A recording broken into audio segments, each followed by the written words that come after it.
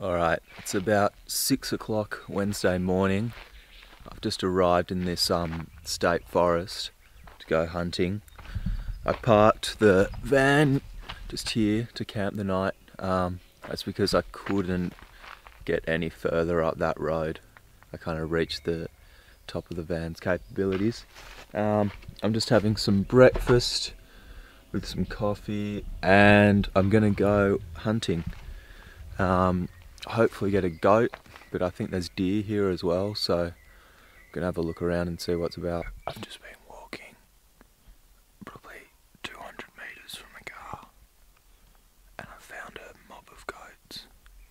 There's quite a few of them.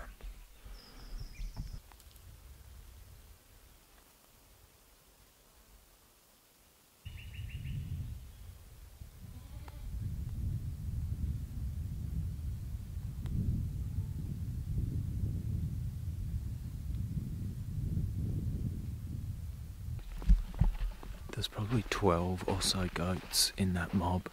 Um, one of them just saw me and then they all bolted, but literally like two or three hundred meters from the car, about 20 minutes in, so it's a good sign.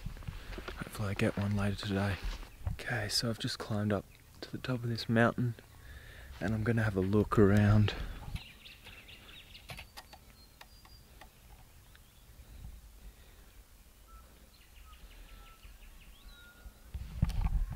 So I'm just going to look around the forest to see if I can spot something with the binoculars.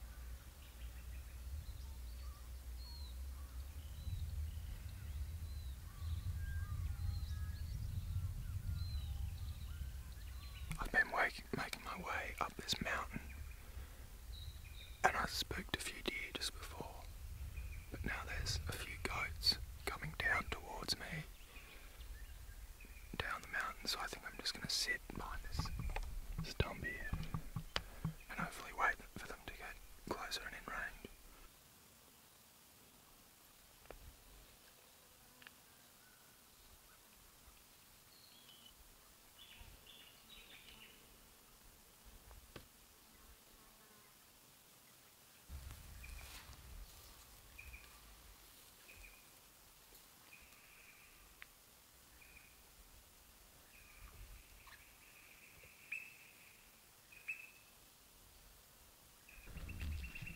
That's another failed attempt, unfortunately. Um, they ended up just kind of working more and more up the mountain, and as I tried to follow them, I just couldn't get close enough, and they were just so much quicker up there. That trying to keep quiet and um, get close enough, I just couldn't do it. So probably gonna have something to eat here and then move on. It's about another hour and a half since I saw those last two um, white goats. Just as I was coming up this mountain, I'm on the top of now can see the view behind. Um, I just basically walked straight into two, which sprinted off immediately. Um, you can see I've come a fair way. So I started, where was it? Down around there, and then came here, and then up here, and then around here, and then down this valley and now up this mountain but I'm on the top of this rock here so put in some distance but seen quite a lot as well so I'm going to keep going see what I find. It's getting a bit hotter now so I might start going down the valleys and hopefully find animals looking for a drink. That's it for the day. I'm back at the van. The sun is setting behind me. Um, it was a really good day. I saw heaps of game quite a few goats and then two different herds of deer, which was really cool. I wasn't expecting to see that. Um, but yeah, couldn't manage to pull off a shot on anything, so have another go tomorrow. I'm pretty knackered. I did like at least 18 k's, I reckon, today, walking up and down the mountain, so pretty exhausted. Just gonna have some dinner and head to bed, and then wake up bright and early tomorrow. Okay, it's the morning of day two. Um, slept in a bit today, so it's about eight o'clock.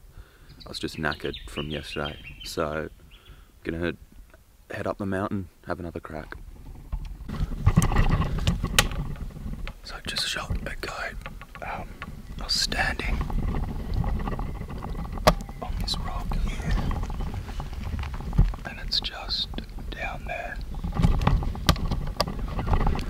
I'm to give it 10 minutes just to make sure the shot was good and let it bleed out. But I'm pretty sure I, pretty sure I dropped it just where it stood. So.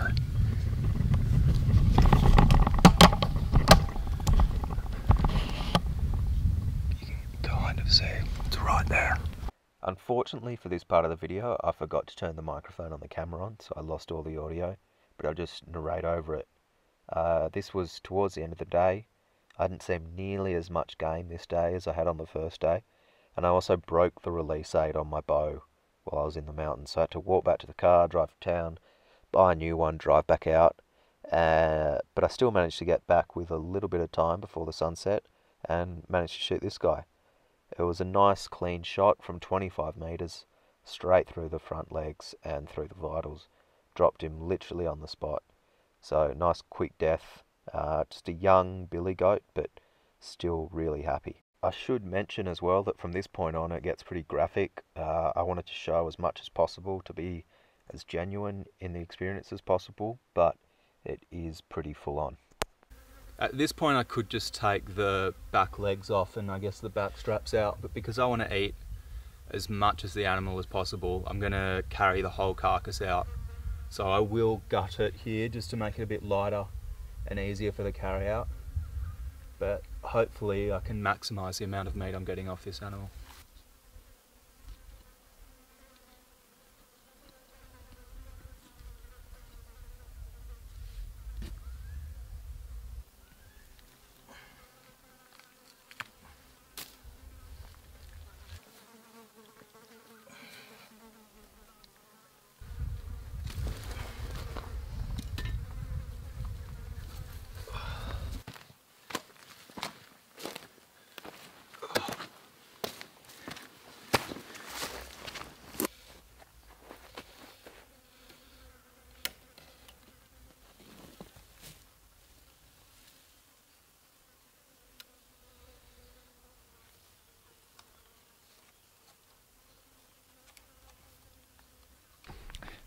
So made it back to the van. The walk wasn't too bad in the end. Um, I shot it relatively close to the car. I mean, it's a decent sized forest and I could have been a lot further, so I can't complain.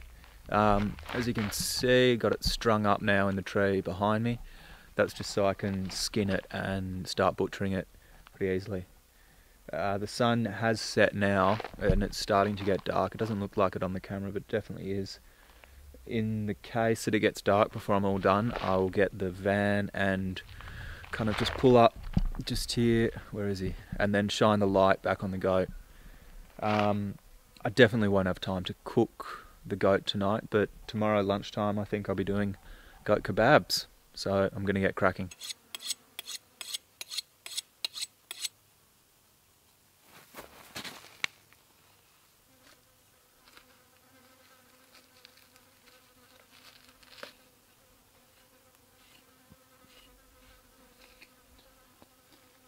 The skinning it took a lot longer than I thought it would. It's properly dark now, um, but it's all good. Got it done. Unfortunately, the front shoulders I couldn't. Um, where is it? Couldn't keep them because of the damage from the arrow on both sides. It kind of went straight through them, and it was all um, meat was ruined. So couldn't keep them, but the rest, of the carcass, got here. So gonna get the back straps and the legs and hopefully some of the rib meat and neck meat out and then pack it all up and put it in the fridge. It's now seven o'clock and I'm finally finished with the goat. Uh, I got a decent amount of meat off it. I couldn't get the front legs though because they were the meat was damaged from like where the arrow had gone through on both of them, so that's a shame. But the meat I did get, it's all in the fridge now, cooling down for the night. I'm getting absolutely smashed by mozzies. Um, all I got to do now is have a shower because I stink of goat and I'm covered in goat blood. Uh, it's quite cold at the moment and I'm not looking forward to it, but it has to be done. So it's the next day. I've come to a new campsite uh, near Wollomombi Falls and I'm cooking some dinner. So I took the back straps off the animal, which is what kind of runs back behind the spine. Um, it doesn't get much use as a muscle, so it's very tender and one of the best cuts to eat. Um, I've just got it grilling on the fire here. You can see. And it's just been marinating in some garlic, olive oil, salt, pepper, cumin, paprika and oregano for the past few hours. A bit longer would have been better, but I just didn't get around to it. So I'm going to grill this and then I can make up the rest of the kebab.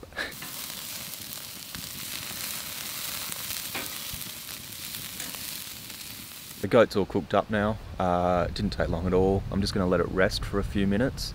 So I'm pretty much ready to assemble the kebab. I'm just going to give this flatbread quick toast on the fire to breathe some life back into it and give it some more flavour.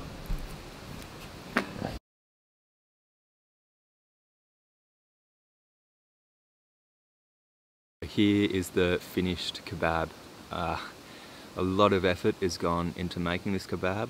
It was a 700k round trip driving, then over 50 k's walking through the mountains, but very happy with the result. A marinated goat, a herby kind of salad with some cucumber and um, tomato and onion just dressed with olive oil and um, lemon juice and then a simple yogurt sauce with uh, yogurt, cucumber, mint, paprika and a bit of cumin. So let's see how it tastes.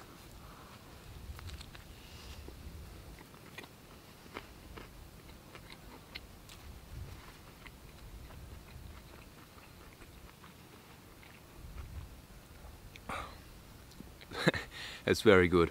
Um, the goat, super tender, being such a young animal. Um, great flavour, similar to lamb, but it's its own thing. It often gets refer um, compared to lamb, but it is a bit different, and um, I like it a lot. So, very happy.